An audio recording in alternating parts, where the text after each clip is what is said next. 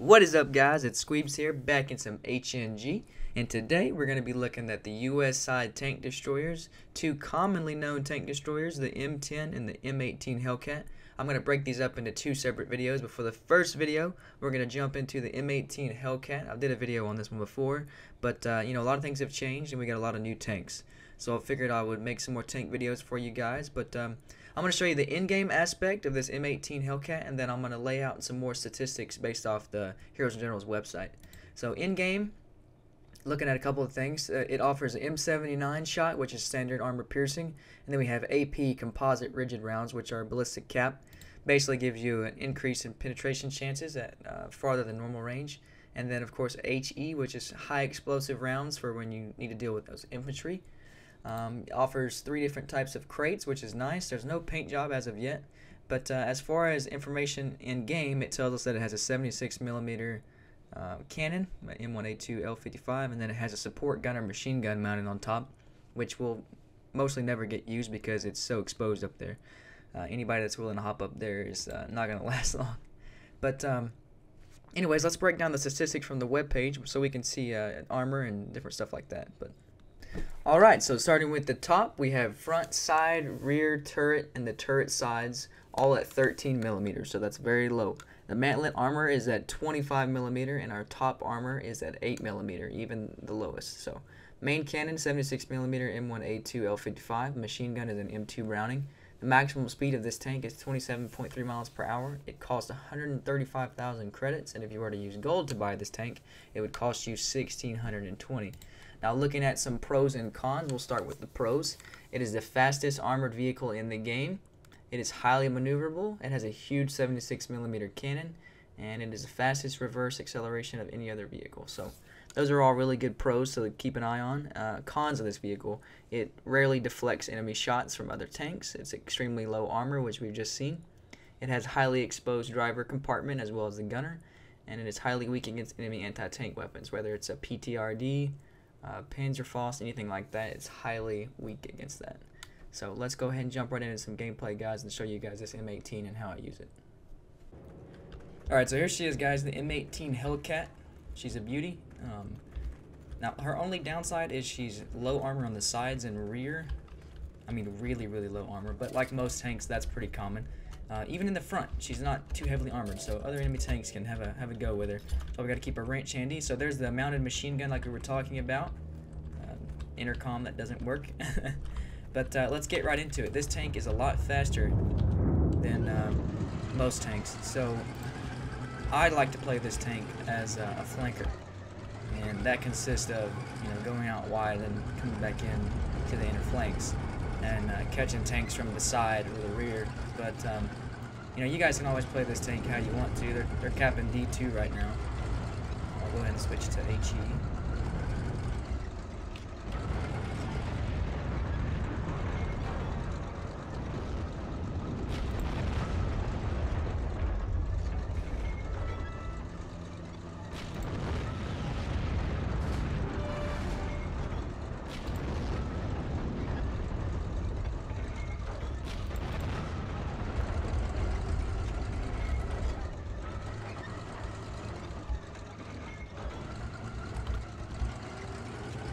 So we go ahead and we got someone spotted armor up here on our left. We're gonna go. Oh, there we go. Yeah, he's seen us. So this is where we're gonna try to flank. This is where the M18 Hellcat comes in handy. Yeah, she is fast. Uh, she does have a lot of maneuverability. And we're gonna try to show you guys that right here, right now. So.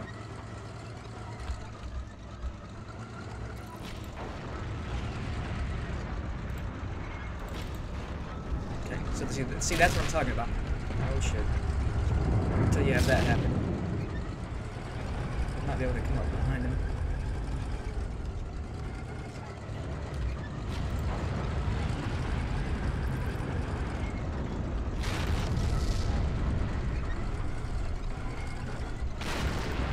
There we go. There we go. We got really lucky right there. We're gonna go ahead and hop out. Wrench up. Is that how we do it now? There we go. it's been a minute. Been a good minute. I'm gonna make sure nobody's rushing over here on us real quick. Still good. They're taking our main right now. If they take our main, we'll pretty much just relocate. Um, we'll stay focused on armor. So that was a perfect example of how good the M18 Hellcat is as far as maneuverability. Those other tanks got outmatched, and that other guy just pretty much got outskilled because if, if he was smart, he would have went to the outside to see where I went. So there's an upside of the M18 Hellcat. It's very, very fast as as far as your M10 uh, is not. So. let's get back down here. Try to get up the hill here. We'll oh, looks like we got another one. So we're gonna go ahead see if we can get this guy. We'll try to keep our front towards him. Looks like a Panzer.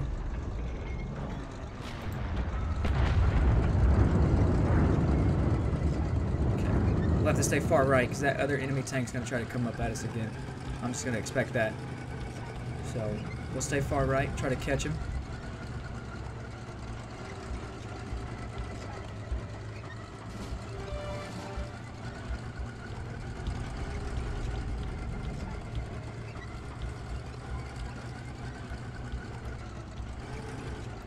This guy might be still in this tank. I'm not sure.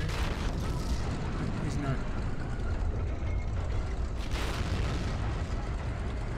Okay, so that was a good flank. That was a good solid flank right there. We're going to keep going around to the left uh, and go the right flank to try to get that other Panzer that was hiding in the trees. This tank, when used properly like this, is an absolute beast. I don't know where their spawn is. I'm thinking it might be right up here, so I got to be wary of that. But uh, I do want to try to find that other Panzer. And I think he's up here because he's on the kill feed right now. That area is right behind him. Right, right where we want to be.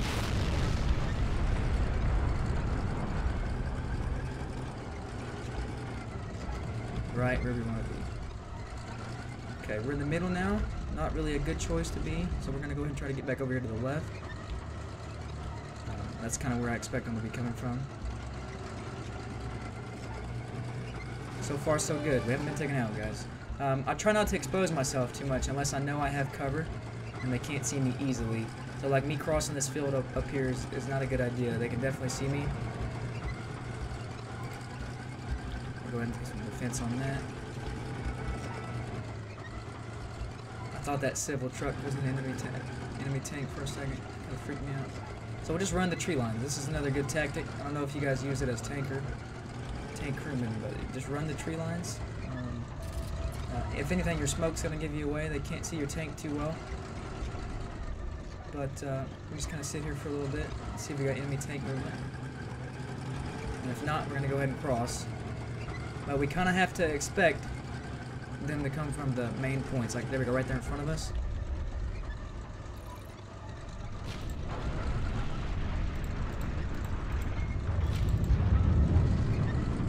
And that handles that.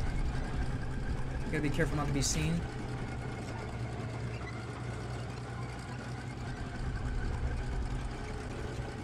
So we're, just gonna fall back into the, the bush line here. And the reason why I'm gonna do that is that that enemy stug driver is gonna be expecting us to be in that area. So obviously he knows we shot him from the back. We can use these hay bales too as another great advantage.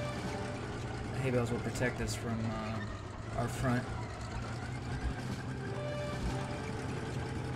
I haven't seen the Panzer yet. I haven't been paying attention to the kill feed either. I've kind of been focused on uh, what's in front of me. But uh, if you notice, I'm staying moving. And the reason why I'm doing that is it's harder for them to hit me, obviously. But I might go off to the far left again. And uh, get that tree line up. There he is right there. And this is the problem. We have to stay moving. Because he's going to try to get us.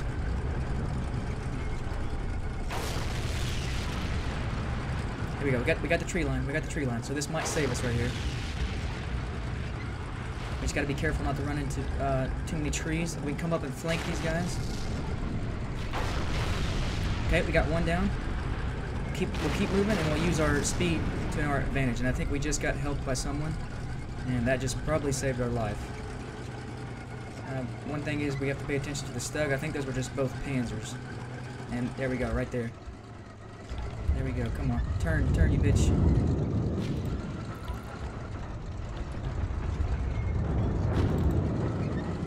Kind of winging it because I can't see him.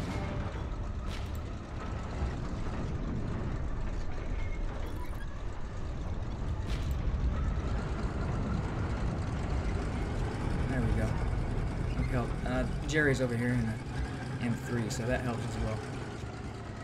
Okay, so that was another perfect example of the speed of the M18 Hellcat. Can definitely be an advantage to when it comes to those Panzers. They can't turn as fast as we can. And as long as we don't get seen by the enemy airplanes, we should be able to repair. I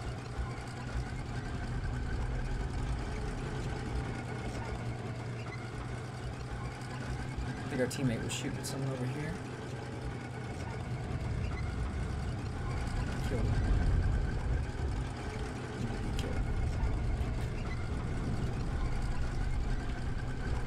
we go. Enemy infantry car.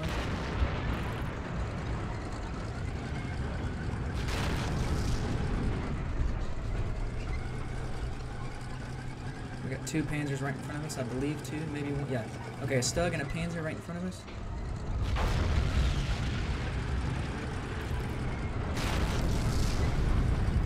We're their decoy zone, so we're gonna kind of back up. Stug went up this way, but we, yeah, right in front of us.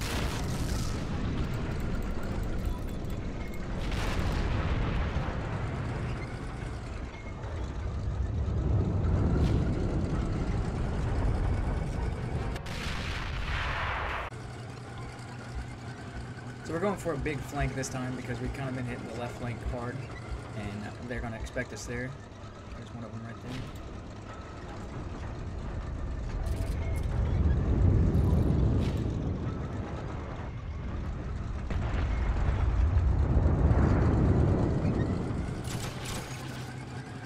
Gunner might give us away.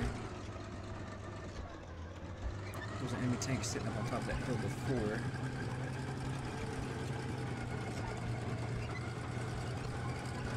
So our guys are getting killed by panzers on the kill feed, so we know that there is one obviously hanging around here somewhere. Um, there's a good chance he might be on the opposite side on the right flank, and there comes another enemy tank right there. We'll try to deal with this guy.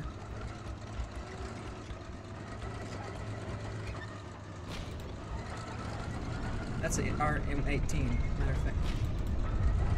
Yeah, we definitely want to get rid of that. Definitely do not want that guy using an M18. When I got sniped in the city, thinking that I could be slick using the city to my advantage, which did not work. Okay, we're gonna go around the right flank this time because I, I believe the Stug and the Panzer is over here shooting at our infantry, so we just got flanked. That's what I call getting flanked by a Stug. Alright, so we're back from being flanked by the Stug. So far, we're 12 kills, 3 deaths. Uh, 10 of those are tank kills, which I don't remember killing anybody that wasn't in a tank, so anyways. We're doing pretty good. We just got to keep an eye out for that enemy Stug. They're hard to see, low profile, which is another great benefit of the German Stug. But, like the Stug, we can flank easily. And his only downside is his turning speed. They cannot turn whatsoever. Kind of like us when we're in this water.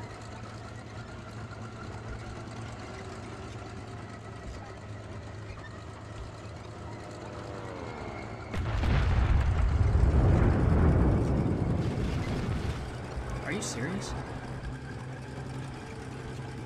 Somebody must have spotted us. We'll stay in the trees and repair real quick.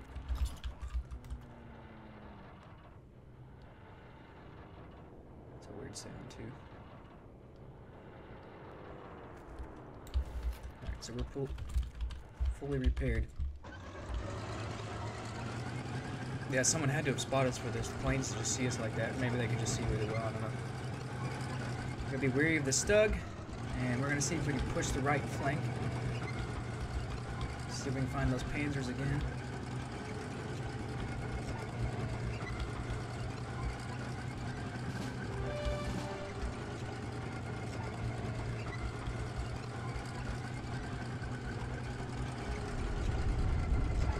Stick to the tree line.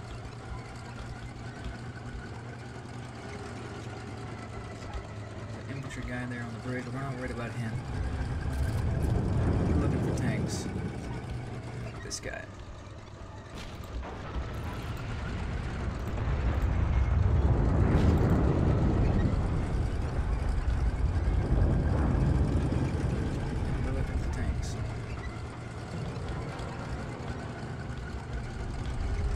figure out where the rest of them went, and we'll be good to go. Is that one right there? Yep, that's the Panzer right there.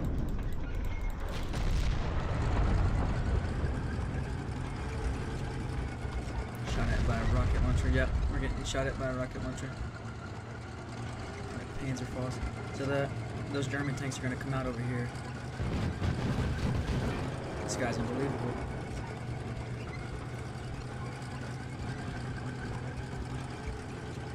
I love how easy they can see us, these planes, you know? We're gonna stay. We're gonna stay hiding right here in the tree, but that's obviously not gonna work. Oh my god! So sorry.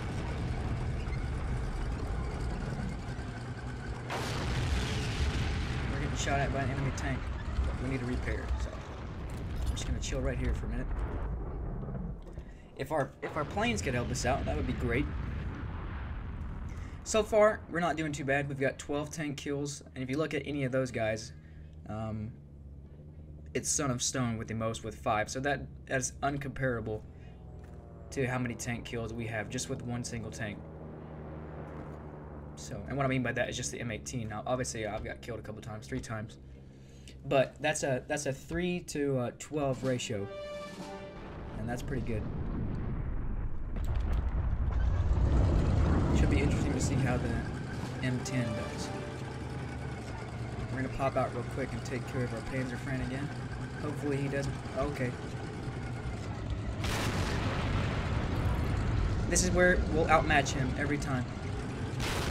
His turning radius, turning speed. Outmatched every time.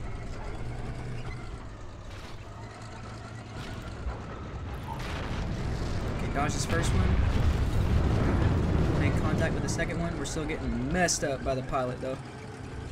We'll have to go back down here, repair. And that was still good. See, that's two tanks down to one again. As long as our pilot friend doesn't mess us up. Yep, he got us.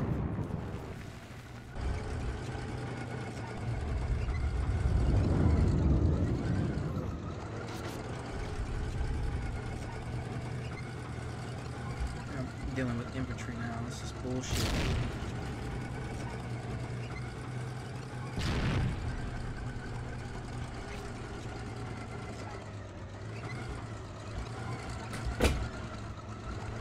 Wait for my gun to be turned this way, and I'm being shot at.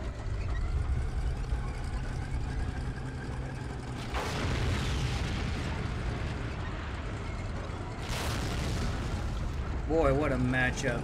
M18 Hellcat, guys. You can't go wrong with it. That was a hell of a matchup right there. We, we outsmarted that guy by outmaneuvering. Constantly being shot at by this infantry, man. They will not lose, leave me alone. If it's not the guy in the the plane, it's the it's infantry. it's hard to keep them off of you. Try to get back here and repair real quick.